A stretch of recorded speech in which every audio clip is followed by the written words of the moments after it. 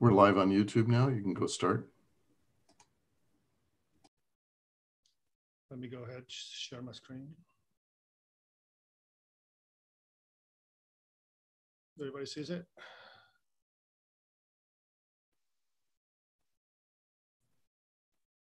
Yes, you'll just need to enter into presentation mode.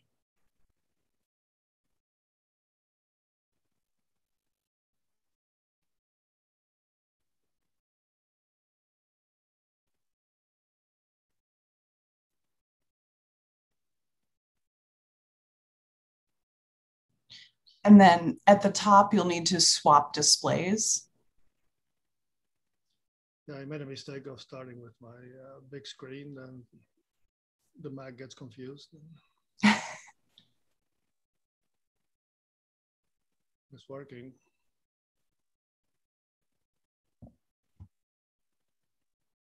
Uh, just right up at the top, there's a thing that says swap displays. You could just click on that.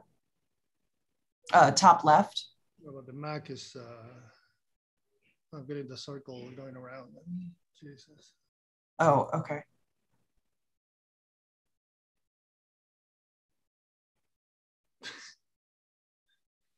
PowerPoint isn't responding. Great.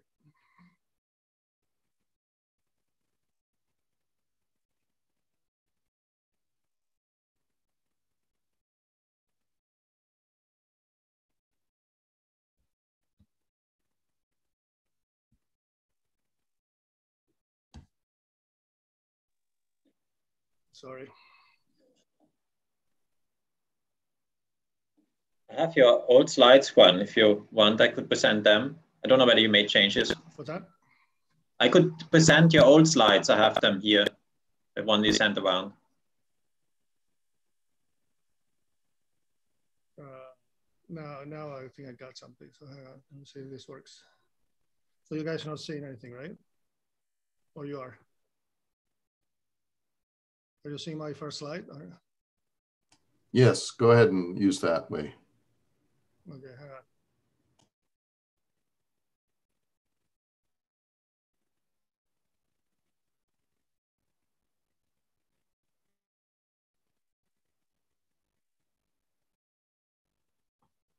Do you see a blank screen or?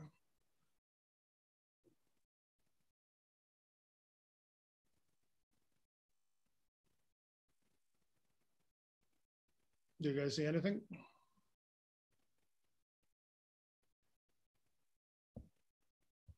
Now it's the presentation mode, I think again. Or...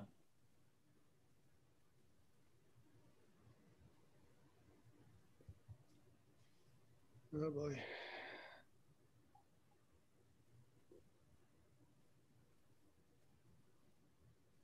Yeah, that was my mistake. Changing, uh, switching uh, screens on top of. But you guys see my first uh, slide? Sort of. So can you present? Uh, the thumbnail thereof. Can you present, Marco?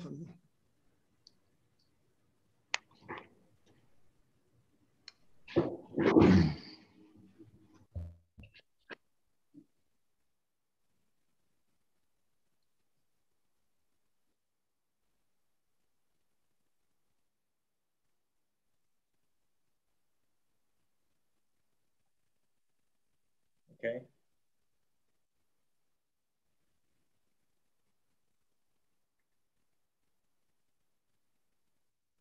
One, if you want, I can put the slides up that I have. Yeah, yeah, could you do that? Okay, let me do it, yeah.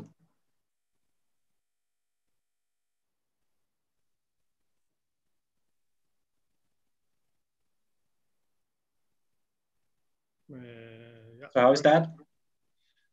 Yeah. So, uh, all right.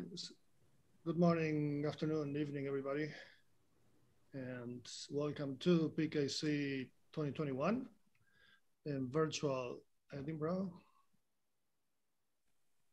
Uh, next. Right. Uh, yeah, so I guess the order is all right. So um, we were fortunate this time to, you know, uh, count on a very talented and energetic uh, program committee, which uh, you'll see on the screen. And next. And the help of over 250 reviewers, which will flash uh, in the next three pages. Right? And next. So this year we received um, 156 submissions, out of which 52 were accepted. That's a 33% uh, uh, acceptance rate. There were six conditional accepts, all including the program, and there was one soft merge, meaning that two papers, you know, on the essentially the same topic, uh, overlapping results, uh, were soft merged, meaning they're going to share the same presentation slot, and that's on uh, privacy intersection, I believe, on Wednesday. All right, so the review took uh, around 10 weeks. We were a little bit constrained with time this year because we, uh, and there was, we skipped the rebuttal phase, but uh, in any case, it was fairly interactive in the sense that um, in many cases, reviewers were able to ask uh, authors questions and the results, you know, the answers were automatically posted on the discussion board and so forth. And we generated almost 500 pages of uh, review discussions and authors' responses. And uh, in, in, terms of submissions, given uh, the emphasis on post-quantum cryptography, NIST efforts in standardizing the this uh, area, then we this uh, area was encouraged this year, and this is somewhat reflected in the program.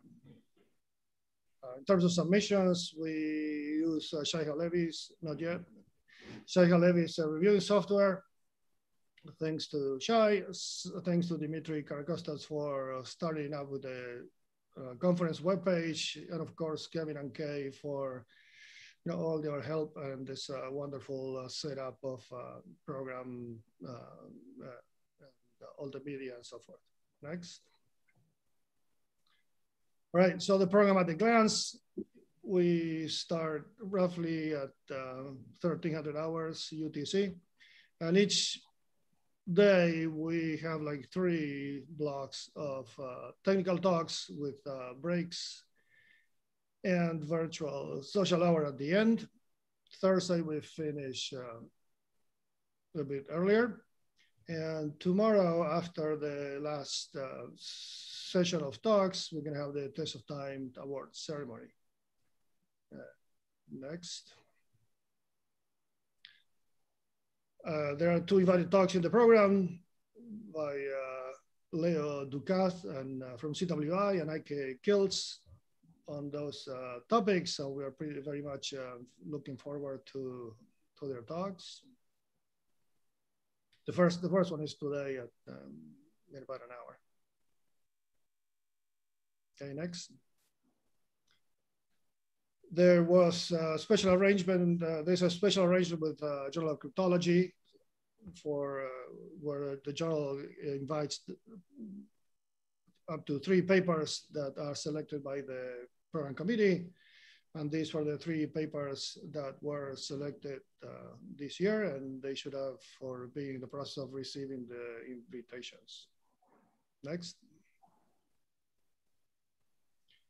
And there is a Test of Time Award that uh, PKC started uh, somewhat recently, which recognizes outstanding papers, which had to be published in PKC about 15 years ago which made a significant contribution as judged by the community and reflected by uh, the other way, as just ju judged by a selection committee, taking into account their impact. Right. So this year the range was uh, 2002, 2005, and uh, the the selection committee is composed typically by the current PKC program chair, the next PKC program chair, which is Goichiro Hanaoka, last PKC program chair, Aggelos Kiayias, and two members from the selection committee. Those are Moti Yung and Yuliang Zheng. And the ceremony is going to be tomorrow at uh, 16, 1000 hours UTC. Next.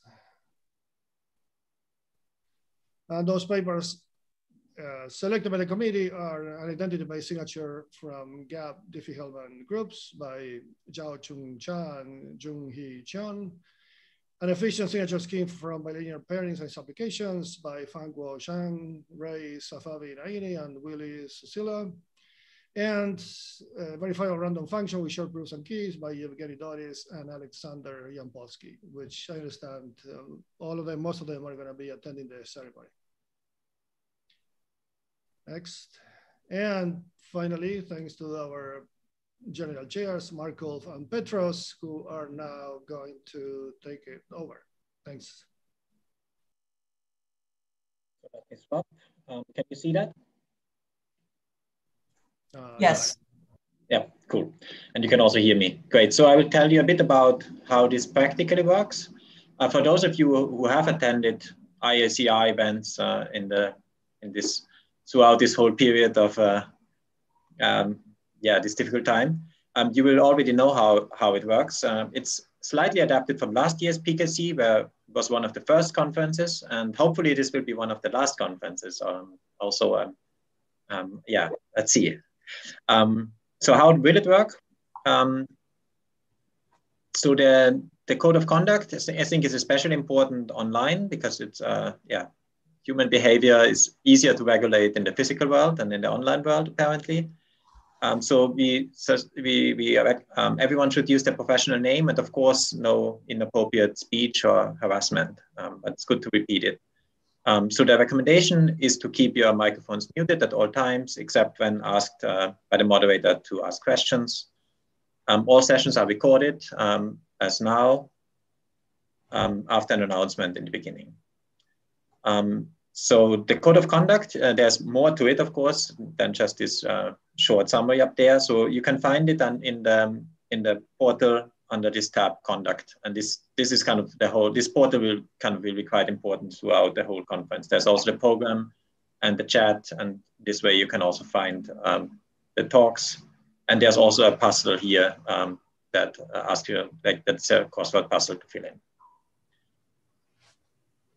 Um, so what else is there? So the, the online material is already on the website. I think uh, Kevin will say a little bit later on how to access the papers. Um, the format is that they are short five minute talks, which are given um, live. And uh, there are questions around that. So speakers, as in a physical conference, should kind of uh, come early to talk with the session chair. In this case, you join the Zoom room um, early on to test your setup. For instance, that screen sharing works uh, correctly. Um, so then during the session, there's a question and answers and the panel. Um, so typically there are um, few questions after each talk. Um, the questions are asked um, by raising your hand in Zoom, which you can see in the participants list. Um, you can write questions in Zoom chat or the preferred solution, because that is more long-term and kind of allows more interactive response, is to write it in the Zulip uh, chat.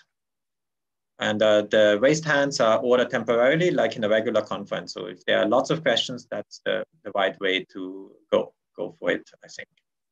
But uh, writing in Zulip is also good. So we will have a, kind of one of the session chairs, the two session chairs, and one of them typically will, will monitor those uh, places. So there um, are social events, like in a real conference, in a physical conference, um, but of course virtual. So one interesting, so Juan already mentioned that, one interesting oddity here is that every day the social event starts five minutes earlier. So you will, so that's the, the, kind of you, you get to be social five minutes earlier. And then I think on the last day, actually one hour earlier. Um, you join it through um, this, this link here, join the party. And there are different rooms and uh, you can see who is in which room and you can also go for random assignment if you trust randomness more than your own choices. So yeah, let's let's um, also try to make that aspect of a conference, which I think is very important, as uh, enjoyable as possible. Maybe if you're in the right time zone, you can bring a bring a drink, and uh, yeah. So that's uh, that's I think most um, of the organizational things that I wanted to go through. So last, uh, but not uh, so this is how you can find the Zulip chat, which is another way of uh, of being social and talk with colleagues that you yeah that you usually meet at conferences So it's a good good way to, to interact, maybe talk with new people as well. And so last but, but not least, I want to thank our, our sponsors for their generous contributions to the conference. And uh, so I'm handing over to Kevin, I think, who wanted to say a few words. Yeah, just a, a little bit. Um, there are possibly some bugs that you'll discover in the portal software for which I hold the unique blame for that. And I'm sorry, but uh, I'd be like to hear of any problems that you experience with it. Um, we have had a problem with getting the links to the papers to work. Uh, there's some confusion about exactly how the authentication works. However, uh, I'm hoping that by uh, in an hour or so, there will be a new solution for having the papers available online so you can click through to them. I've added links in ePrint articles. So if you're an author and you have a paper that's been accepted, you should upload it to um, ePrint so that I can add that link and then send an email to virtual-conferences at iacr.org. And I don't think I have much else to say. If you have any questions about how things are run, you can contact Kay or myself. And I've put that email in the chat.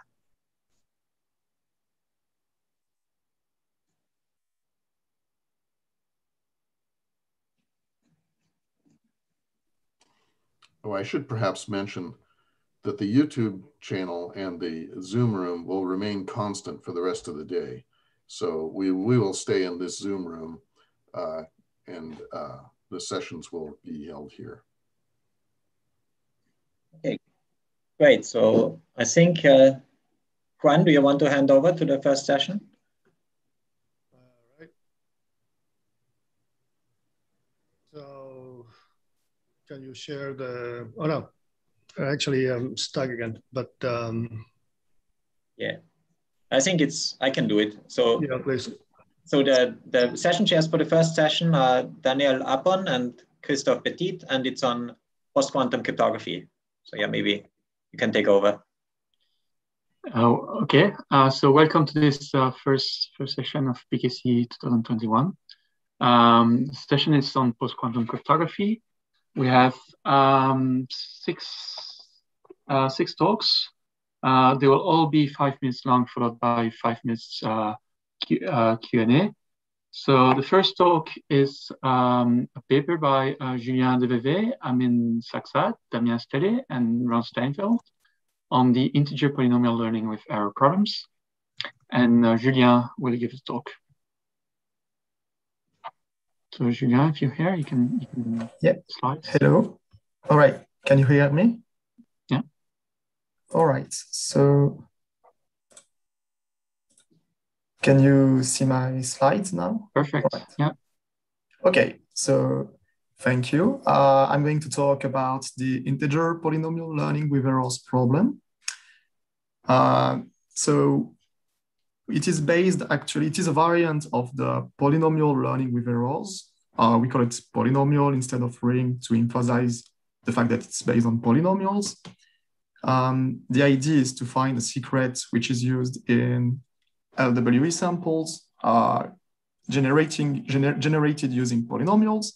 And to define the integer variant of it, the idea is to actually evaluate each polynomial um, beforehand, before computing the samples. And so you get the integer polynomial variant. There are a few caveats, notably since you want the secret S and E high to have small coefficients, you do some rejection sampling uh, as to not reduce the secret and E high mod f of q because you want to keep this notion of smallness.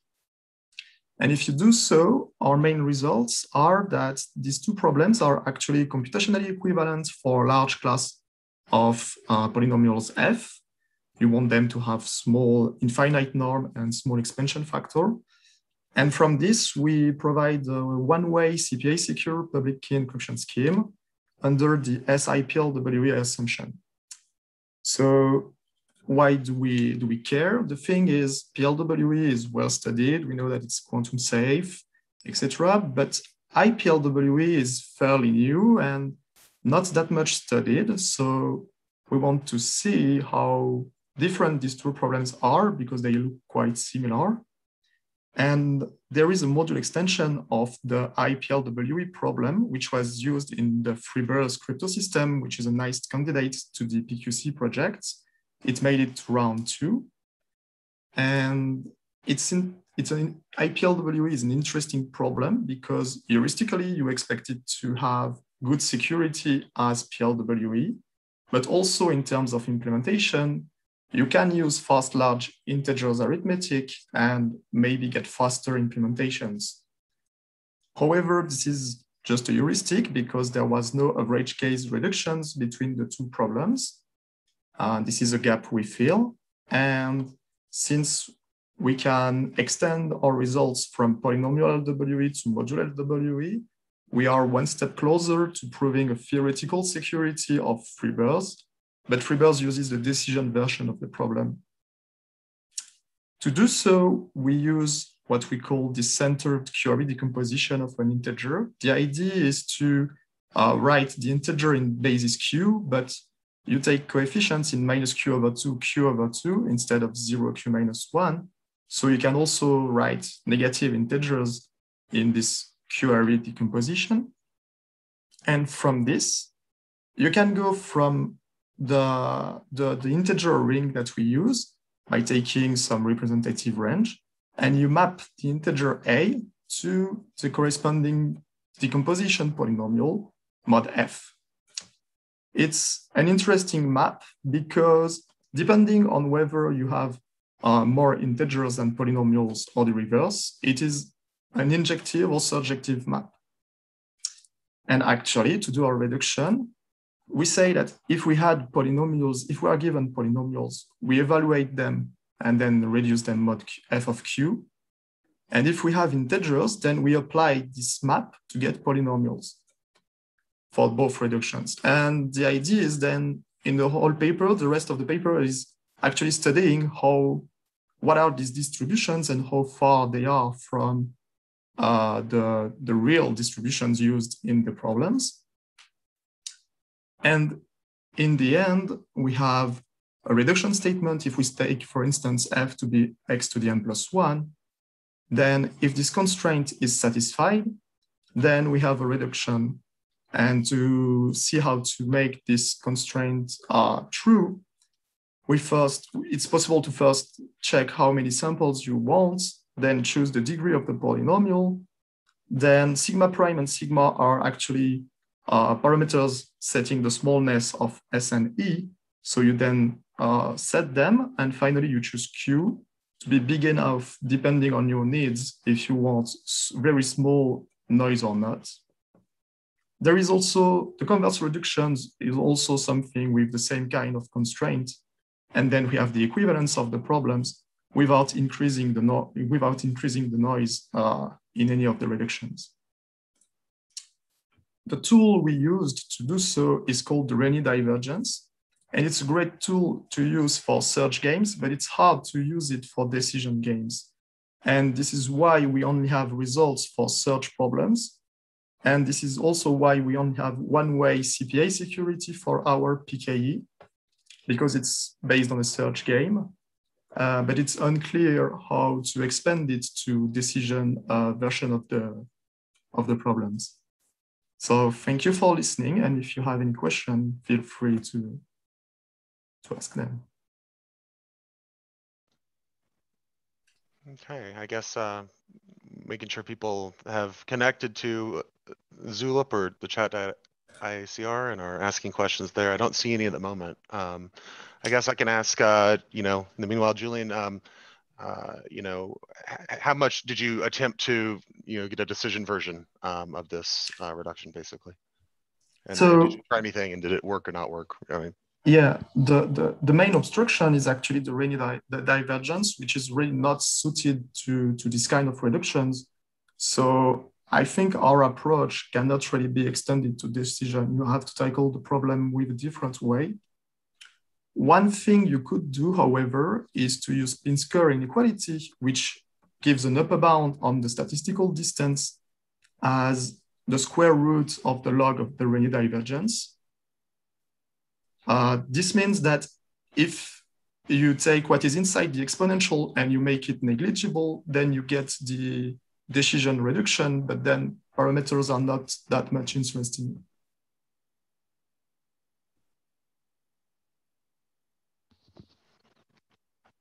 Any other questions from the audience?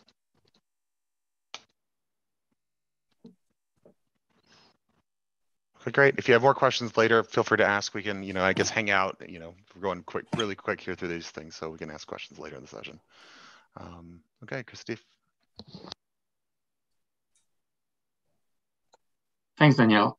Now, uh, the next paper is a paper by Geovandro Pereira, Paulo Barreto, on isogeny-based key compression without pairings. And Geovandro will give the talk. Geovandro, you can upload your slides. Can you already see the screen? Yes, thank you. Um, so uh, I'm going to uh, present the isogeny-based uh, key compression without pairings uh, work. Uh, this is joint work with Paulo Barreto. And um, basically, isogeny-based based key compression techniques allow you to reduce uh, key sizes from about 6 log p to 3.5 log p bits, where p is the underlying prime that we are working with. for example, for a key encapsulation scheme. And uh, these techniques not only apply to uh, reducing key sizes, but also ciphertexts. So basically, uh, we can compress both of them with uh, about a similar factor. And this kind of techniques not only apply to KEMs, but uh, they can also apply to some isogeny-based signatures. And uh, the main compression idea is that giving a public key PK uh, consisting of a triple uh, elliptic curve E and two points on that curve, P1 and P2. Uh, we want to transmit a short representation of these uh, two points, for example. And uh, the previous, the original work would transmit the x coordinates of the points P1 and P2. We are elements of the quadratic extension, so um, occupying two log p bits each coordinate. Uh, but it turns out that there's a, a, be a better way to transmit a representation of these points. Basically, we can note that uh, the points uh, pi can be uh, expressed or decomposed into um, two-dimensional uh, structure. so basically, the subgroups generated by a point r and a point s, where r and s is our generators for the L to the torsion of that elliptic curve. And these points RS are just uh, a canonical basis. So basically anyone can, can compute this basis. So basically if uh, the, the, the user that wants to um, compress its public key, they can simply uh, co compute these coefficients A and B, uh, which together add up to just half the size of the x coordinate of the point. So basically uh, we can transmit those coefficients. The other side can just recompute that canonical basis from E. And then we just project uh, the coefficients to get the points P, P1 and P2. Um, so basically the idea is that previous works uh, would uh, compute these coefficients. This is the hard part to, to actually retrieve these coefficients is not a cheap thing. And the way that previous works did that was by uh, using pairings so that we get a projection, projection of PI onto the subgroup generated by R and the subgroup generated by S. And uh, once you have projected those uh, instances, you can just use Pohlig-Hellman on a smooth order uh, subgroup of the finite field of P squared, and then you can retrieve the actual coefficients. So it turns out that in this work, uh, we gave a different approach to perform this projection of the points P1 and P2 onto uh, the specific subgroups of order L to the E, but now not over the uh, finite field, but over an elliptic curve. So basically the idea was that um, we basically can uh, get this equation one here, this expression uh, on the curve E for the points Pi, and we can use dual isogenies uh, to move the problem uh, back to the very initial curve that was used in SIKE before. We know how to do to compute this dual isogenies due to recent works by Naehrig and Renes, which can be done efficiently. So uh, we can move the problem to the very initial curve is zero uh, that has some special properties.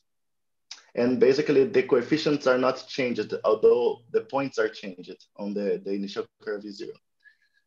And then we um, like learned that basically uh, if you use the trace map on that curve is zero, that, that map maps points onto the base field of that curve, even if the point is over the quadratic extension. And then uh, we suggested to compute two independent uh, maps on this equation two here, basically applying the trace map and the trace map composed with uh, a distortion map on that curve is zero. So that's usually not easy to find for an elliptic curve in general, this distortion map, but for zero, it's, it's known. So basically, uh, we can do that in here and efficiently. And uh, also have uh, applied these two maps. Uh, what you get at the end is that uh, you get only points over uh, the base field, but the base field can be generated by a single generator G of full order in that subgroup that can be pre-computed. And then uh, basically these equations, these two new equations are going to give a system of two equations and two variables on A and B. And uh, by solving just simpler discrete logarithms over this base field, and uh, then solving a system of linear equations over the integers, we can retrieve those coefficients A and B, totally avoiding uh, pairings um, and just doing discrete logarithms over uh, the elliptic curve over the base field here. So basically that's the, the, the, main idea of the paper. There's an extra contribution as well uh, that works uh, for the previous works, uh, for the uh, quadratic extension of the finite field, but also for the elliptic curves, which is reducing pre-computed tables that I don't describe in here, but we got a factor to, uh, to reduce those tables by uh, doing some, applying some tricks. So basically we implemented our ideas in Magma um, and uh, for SIKE P751, uh, we were able to reduce the, ta the table sizes, the pre-computed table sizes to solve these discrete logarithms by a ratio of about 28 to 20 to 28%, depending on the torsion that we're working on. And um, if you look at the uh, time in terms of uh, multiplications over the, the base field equivalent, uh, we got uh, 24 to 48 uh, improvement when no pre-computation is used. If pre-computation is used, then our method is slower. But uh, if no pre-computation is required, then it's a bit faster. And I think that's basically what I, I had to say. Thank you. Great, thank you. Um, I guess if you have a question, uh, so we noticed there was a prior question that was posted. I guess it takes people a couple minutes to type, which is a little different. You don't can't raise a hand and pause um, easily. I guess you can raise a hand in Zoom. Um, so are there are there any uh, questions uh, for Geovandro? Um, there is there is a question on the um, on the Zoom uh, chat uh, by Marcus Carvais. What's the cost of pre-computation? Yeah, so uh, basically, uh, this is the number of uh, of FP equivalent multiplications over the, the finite field. Oh, you mean uh, the offline cost or the uh, the offline cost? Yes. I mean, the offline cost is not uh, is just building a table of size uh, two to the m rows or L to the m depending on the torsion uh, times uh, the exponent of the, the subgroup. For example, E here for SIKE, uh, if you are on the, the two torsion is uh, 372. And if you are on the three torsion is 239, the exponents here. So basically the, the, the size of the table is going to be 372 times 2 to the m in the first case or uh, 239 times 3 to the some small number W, sorry.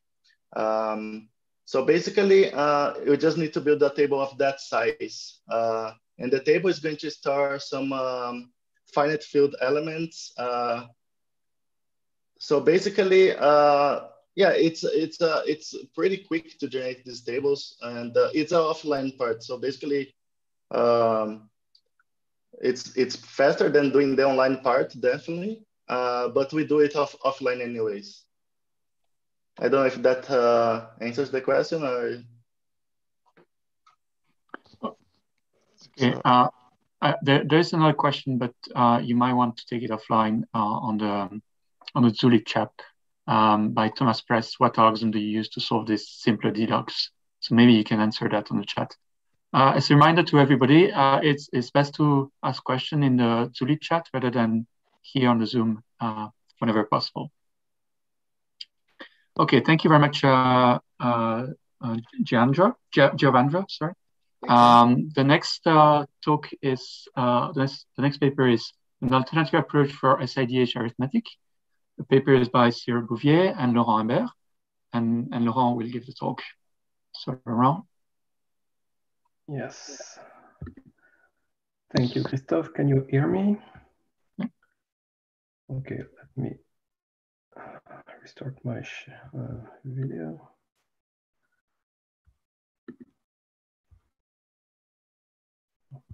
Okay. So just a reminder, every speaker gets in theory five minutes and then five minutes Q&A. Um, if you can stick to can that. my slides properly? No. See myself. Yeah, you should move your, your slides there. Yeah, perfect. Yeah, it's fine. Mm -hmm. Okay, so thank you for uh, the introduction. So I'll try to uh, keep it to five minutes. So uh, we go straight to the point, and in uh, SIKE or SIDH, you need to do uh, the arithmetic over uh, quadratic extension of fp, where p is a prime of the form 2 to the h to the b minus 1. And SIKE, that is the uh, NIST uh, proposal, there are four primes that have been proposed at different security levels.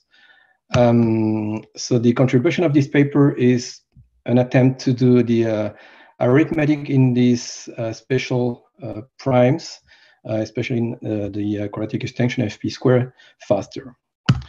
So for that, we uh, use a different representation for the elements. So for example, if you want to represent an element v that belong to fp square, we're going to do that with integer polynomials uh, with bounded coefficients, uh, such that this number v will be represented by a polynomial u such that when evaluated at the gamma, uh, it will give my v for uh, a fixed gamma that is um, a value that belongs in uh, belongs to fp squared.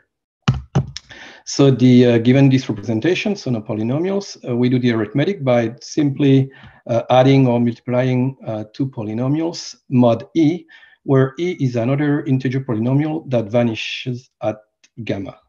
Um, and of course, when we do these uh, operations, uh, for example, you can think of uh, polynomial multiplication, the uh, coefficient of my output polynomial will grow. And then we need to find a way to reduce this coefficient to stay within the bounds, bounds that we uh, set at the beginning. So for, for that, we need a few things. We need a, a, a m that is also a polynomial that represents zero, just like e, and m prime, which is the inverse of m in, in some ring. And the way we do the um, polynomial, uh, the coefficient reduction is uh, very similar to the classical Montgomery reduction uh, applied to uh, the coefficient of our polynomials.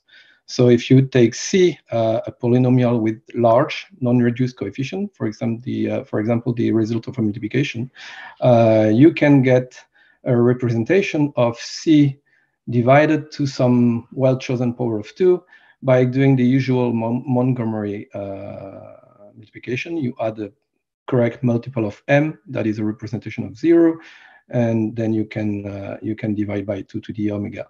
And if you do that, you need uh, big O of n square multiplication is if n is the degree of your polynomials. What we uh, present in the paper is a special way to a special subset of the uh, what we call the PMNS basis, the uh, polynomial representation, where the polynomials n and m prime that are here are very sparse and have small coefficients. And also, the in this case, the um, under under some conditions that are not so difficult to satisfy, the digits of Q and R also satisfy uh, recurrence relation so that we can now implement the Montgomery reduction in big O of n multiplications. So uh, because we have five minutes, let's go to the uh, the results. Uh, of course, our uh, code is available.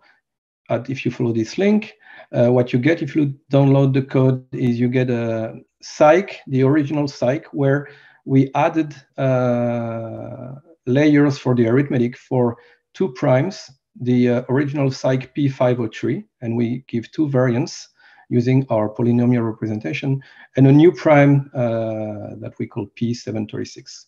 And we compare that to the original uh, uncompressed implementation uh, of SIKE that you can download here.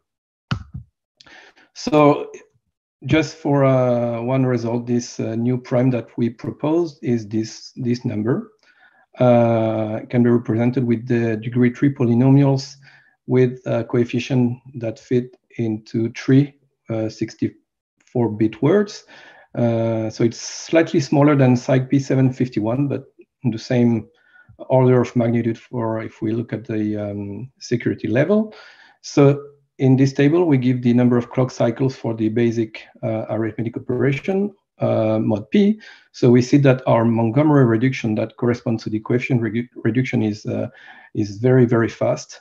Uh, and overall, the uh, arithmetic mod p is faster, and it also translates to the arithmetic over fp squared.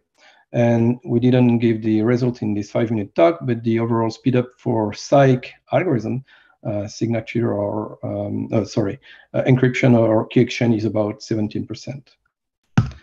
And to be sure I stay within my five minutes, uh, we believe that this way to represent the an element of a finite field for SIKE is advantageous. Uh, we also know that we only scratch the surface of this field. Uh, we need to find more good primes. And in particular, we need to find uh, efficient basis for FP square uh, directly. And I will end my presentation now. Great, thank you. Um, looking for questions for Laurent. Um, and also I'm going to just point out, uh, just for the sake of time, uh, Julien and uh, Geovandro, there are questions for you in the um, in the chat. Uh, AICR here, um, a couple of them there, so we'll leave those offline.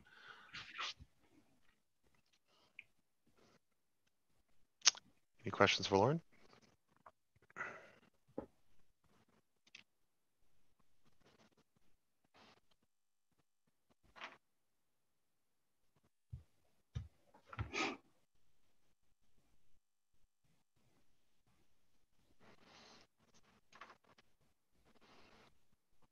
Okay, well, let's, uh, in that case, take uh, any questions you have for him to the chat and he can answer them um, later. Um, you know, thank you for the for the great work. Uh, speeding up SIKE is is very valuable.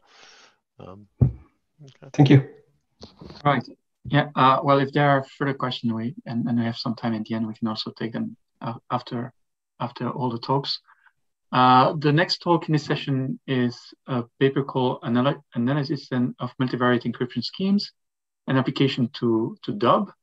Uh, the paper has been invited uh, to the Journal of Cryptology. Um, so it was considered uh, one of the best paper of the conference. Um, the paper is by Morten Øygarden, uh, Patrick Felke, and Håvard Raddum. I hope I'm pronouncing properly. And uh, Martin will give a talk. So Martin, please go ahead. Yes, thank you very much. Um, so let me see. Do you see the screen now? The presentation? Yeah. Right. So uh, the paper focuses on. Wait, we, we see your screen. We don't see your slides. Ah, you don't see my slides. Yeah, just oh, sorry, just a second. Yeah, we see browser. the chat. Let me. Yeah, here we go. Right now, now you see it. Yeah. Perfect. Okay. Thank you. That's always something.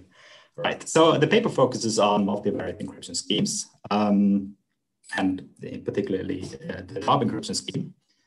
And the contribution is sort of twofold. So first of all, we we talk about how not only to uh, determine the first fall degree, but also the number of degree fall polynomials that we get there. Um, and secondly, we sort of use this information in order to develop an attack, a new attack against this scheme. So we also believe that these ideas could be used uh, for other multivariate sort of big field constructions as well. Um, sorry. Yeah. So the setting is that you will have your public key will be the quadratic polynomials, and they are constructed sort of using these F polynomials, uh, the sort of unmodified system. So they will come from one of these big field constructions. So in our case, this will mean that they can be in, um, it can be inverted if you have a secret key. However, this sort of system um, causes there to be these degree fall polynomials. Um, meaning that there will be combinations of polynomials uh, that will have a smaller degree than what you would normally expect.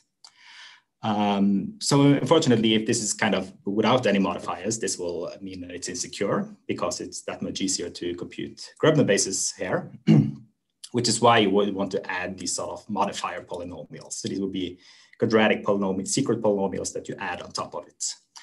Um, and sort of the DOB case would be the, that the FIs will come from uh, the Dobbertin permutation, and uh, the modifiers will be internal perturbation and Q plus modifier. So the key contributions is that we are able to derive exact formulas for the number of degree fall polynomials uh, up to degree five. and they are exact in all of the experiments that we have run. Uh, moreover, uh, if you sort of fix uh, variables to zero, um, we call it projecting, then the, these uh, formulas will sort of remain exact. Are able to kind of predict the number of degree for, uh, degree for polynomials. And the first fall degree may also uh, decrease as a result of this. Uh, so what we find is that if you do sort of project the polynomial system and then go up and compute these degree for polynomials, then you would be able to learn sort of these secret modified polynomials, so kind of localized versions of them after they have been projected. So the idea of the attack is that if you kind of project along different sets of these variables, then you kind of you find these localized versions of the secret modified polynomials, and then you're able to kind of glue them all together to, to really get this, this uh, whole polynomial back. Um, and the reason why we want to project this is um, there's two reasons for that. First of all, as we see in uh, say, point two here, uh, there may be kind of a smaller first fall degree, meaning that you only have to go up to a smaller degree. And secondly, there will be sort of less variables in the system and that much more easier to compute for an attacker. So I think for uh, the 80-bit parameter um, parameters, we're able to kind of project over hash the, uh, the variables and then compute. Uh, and do note that we are really just setting them to zero. So there's no guessing involved. There's no sort of exponentially many time you have to do this process.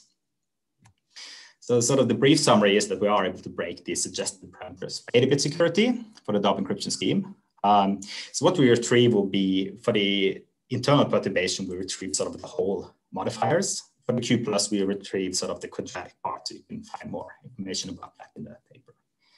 Uh, we believe that these ideas could also be applied to other uh, big field constructions, other central maps like C-star and HFE, and other kind of popular modifiers uh, in this setting. And particularly effect effective against encryption schemes. Uh, for signature schemes, you can where you can kind of apply a lot of these minus uh, modifiers that would be able to kind of thwart the attack. Yes, so that's sort of the, the paper in a nutshell there.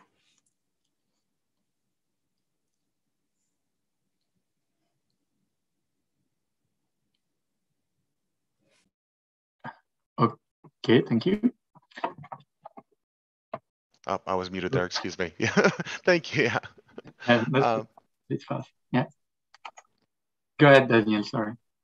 Oh, sure, sure. Um, so on the, this, this prior talk, so, um, uh, do we have any questions there for, uh, for Morten?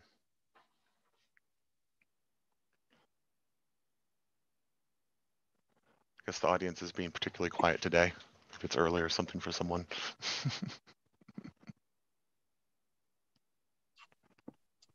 Okay, great. I guess, you know, so one of the questions I might ask uh, Morten just uh, just to get, you know, some kind of discussion is um, have you have you tried looking at other schemes uh, with your technique uh, that you just developed and whether you're able to pull any bits of security off of anything else or, or if you have an idea of like what might be a very interesting direction to look at because you named a couple of the options, right? Hmm.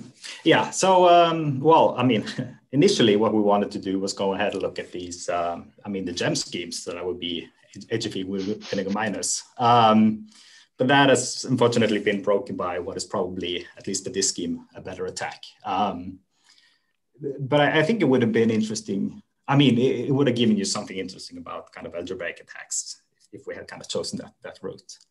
Um, I think there's also, um, we could go back. So if you want another example, um, we did a um, kind of a previous uh, paper on, on uh, eFlash. So that will be um, using the C star with, with minus and projection. Um, and I think you could kind of really improve the attack there. So that would be sort of another, another example um, that, that you could go. Um, yeah, I think that's. Okay, great. Thank you so much. Yeah, thank you very much. Okay. Um, are there more questions move forward? All right. So the, the next talk in the session is, is about um, a paper called Multivariate Public Key Cryptosystems from Sidon Spaces or Sidon Spaces, I'm not quite sure. Um, the paper is by Netanel Raviv, Ben Langton, and Itzhak Tamo. And um, Netanel will give the talk. Thank you, Christoph. Can you hear me okay? See my slides? Uh, yes, we can hear you. Sure. We don't see you. And the slides? Yeah, we see the slides. We don't see you. Don't see I, me? I, I see him at the top. It's just, uh, it's just Zoom. Oh, yeah. Now I see you. Sorry. All right. Uh, thank you for coming to my talk. I'm glad to be here. I'm going to be uh, briefly talking about a new multivariate public key crypto system that is constructed from fairly new algebraic concept called Sidon spacing. A Sidon set is a set of positive integers um, such that if you have two pairs of this set, that their sums coincide, then they must be the same pair. In other words, if you are given a sum of two elements from the set, you can identify the sum uniquely.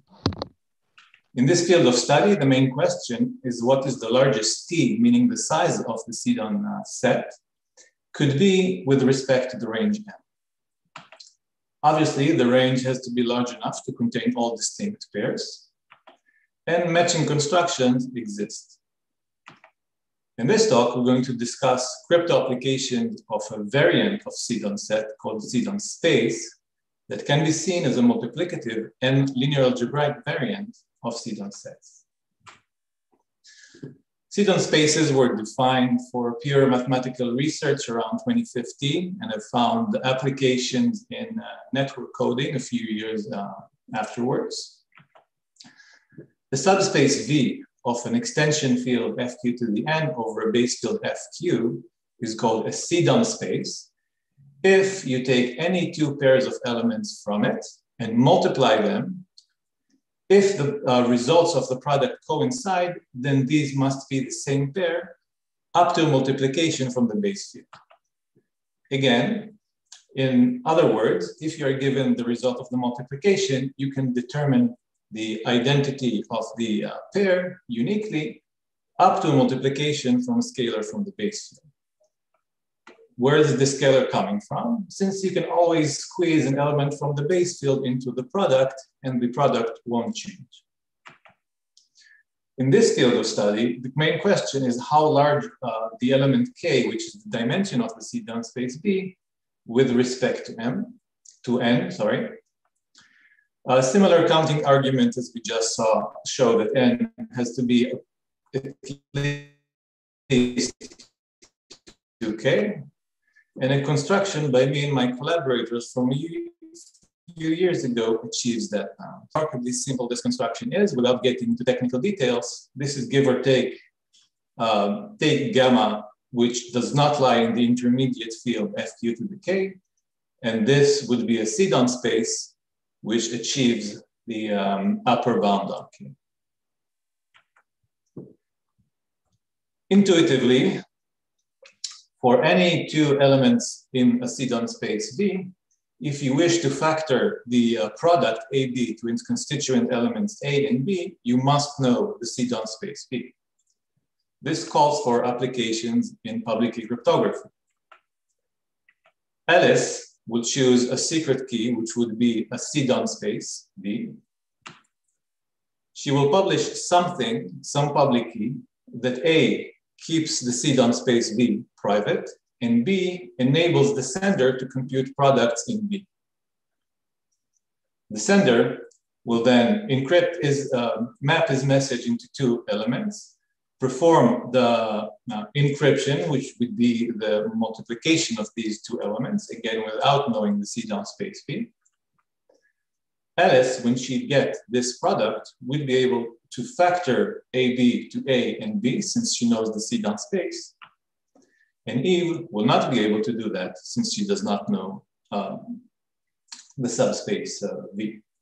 I can get into more details given the time constraints, but I would only say that the resulting system is a multivariate cryptosystem where solving uh, this uh, attack amounts to solving a non-homogeneous bilinear system over FQ. We analyze the hardness of the system in a few aspects. Normally, multivariate cryptosystems are broken by min-ranked attacks in one of uh, two formulations, either the kernel formulations, also known as Shamir-Kipnis, or the minor formulation. In this paper, we show that in both these formulations, the attacks succeed only with exponentially small probability, and we support these findings with experiments, as well as discuss specialized attacks that are not of these two forms. I must disclaim that we uh, are not claiming any breakthrough in post-quantum post cryptography here. Uh, we only show that these attacks fail, and we don't have a hardness proof for the Sidon crypto system in general. If you'd like to hear more about how Alice publishes her secret Sidon space, or about how can Bob compute products in this secret Sidon space without knowing it, or why do we believe that kernel or minor min-rank attacks fail, you're invited to watch the full talk or ask me in any forum. Thank you. Great, thank you. Um, guess uh, I can ask if there are any questions as before. Um, one of the questions I had um, when I read this paper uh, was whether you had uh, derived, I guess, recommended parameters, like concrete parameters, and said, oh, you know, here are the exact numbers for 100 bits of security or something like this. Uh, no, we did not do that. Uh, we do, however, have experiments of the um, the straightforward Grobner basis attack and how long does it take as a, as a function of the, um, the parameters Q and K of the system. Okay.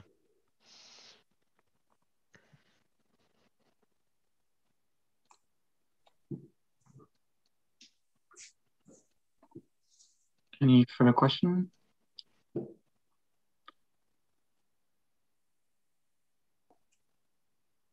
Okay. Um, well, in that case, we'll we'll switch to the last talk of the session. Um, this is about a QCCA secure generic key encapsulation mechanism with tighter security in a quantum random oracle model. Uh, the paper is by Xu Liu and Mingqiang Wang, and Xu Liu will give the talk.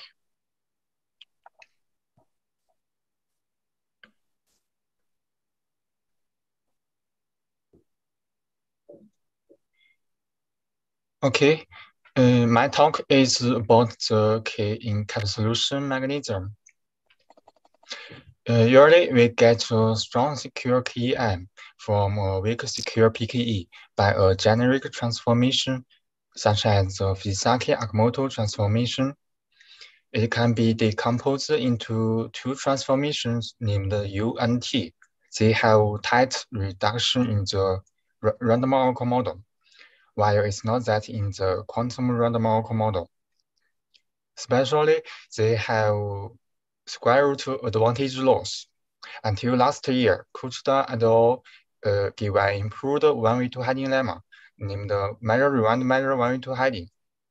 Then the loss is reduced to about D for the transformation U. Uh, Saito et al. Uh, gave an give another way to achieve CCE security.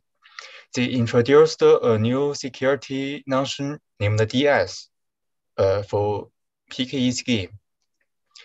Uh, and they show that a variant of transformation U named SXY can turn can tightly turn D secure PKE into KEM.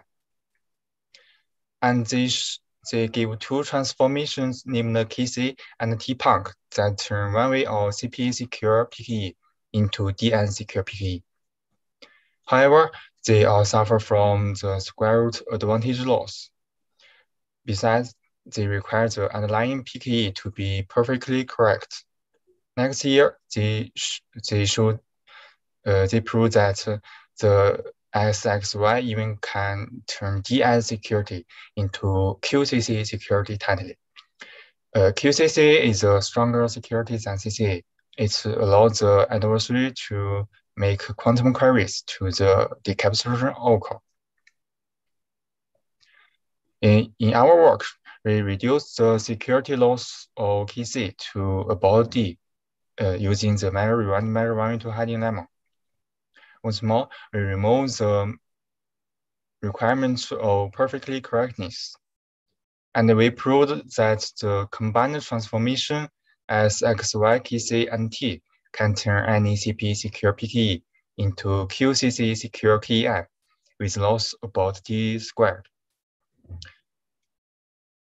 The combined transformation SXY and KC can turn any one VCP secure deterministic PKE into QCC secure KEM with loss of D. We combine advantages of pre previous works and uh, our proof don't need other requirements.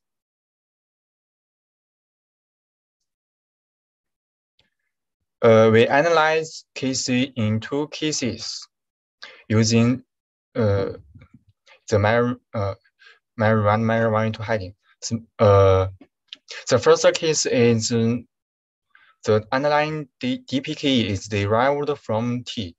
The second case is that it's a general delta correct DPK. We know that the correct correctness notion uh, we use is in the standard model.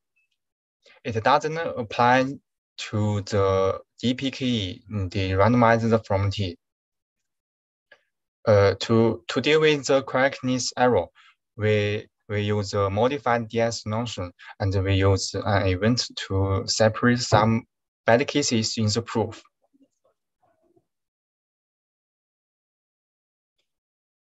We say a PKE scheme is DN secure if there exists a simulator S satisfying the following two requirements.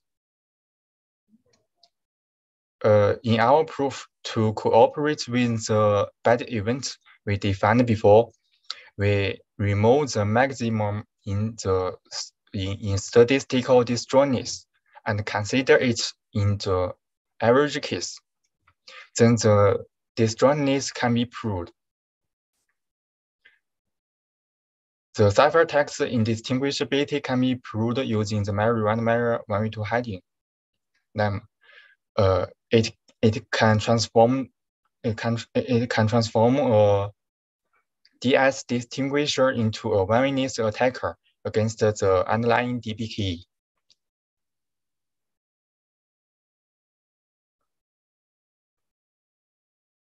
For the transformation SXY, we also consider it in two cases corresponding to the proof of KC. Case 2 has been proved, and case 1 can be proved based on its proof. Specifically, we insert two intermediate games uh, where we replace the function g from transformation t with g prime that only on symbols good randomness. Uh, so, so that the decryption is always correct. Then the proof of case two can be reused. Now, combining with the results of T, KC, and the SXY, we can get the final result. Mm, that's all.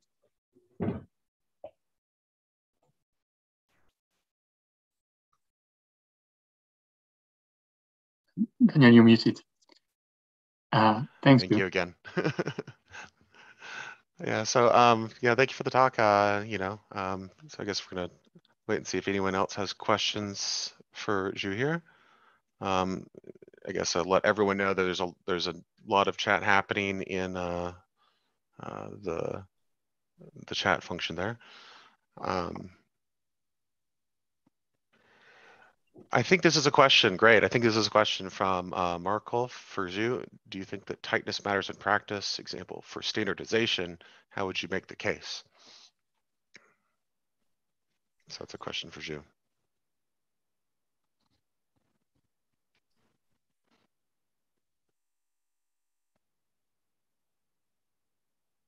Uh, question, can, can you repeat it? Yeah, the question is, uh, do you think that the tightness of these transformations uh, matters in practice? Or is it, you know, I guess the, the alternative would be, is it, is it more of theoretical interest? Uh, uh, what is, what is your position? Uh, the, you, you see the tightness, uh, is the tightness, uh, uh, is uh, is the tightness important in the practical? Yes. Is that's a question. Uh, I think uh, yes. So I guess his question is, how would you make the case for that?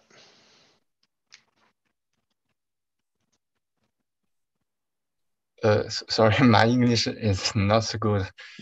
That's good. Uh, I guess we can we can take it offline and you can uh, answer them there in written. Um, and uh, you know, I, I, guess I can I can comment that uh, yes, it it seems to matter in practice. Um, although, you know, um, it's it's of course nicer to have a tight reduction. Um, in particular, uh, if you just analyze a reduction, you're you know some kind of transformation you're already using, and you know lo and behold, it you know you get a you get a tight proof. Um, yes, this matters and it's helpful. Um, if you have something that's not tight, uh, you know, I guess you could always just, you know, cross your fingers and hope that it's not a problem, right? uh, which sometimes this actually happens in practice. You just kind of assume that, uh, that, that, the tightness is, is okay. And you set your parameters assuming that it's tight, even if it's not. So it's a comment there. Um, I guess we have time for. Where there are real attacks, right? Where you could show this, there was no type proof. And yes, there was a, an attack later on. It was a real problem. So yes, but that, but let's take it offline. It's very interesting. Sure. Yeah A lot. be a fun discussion.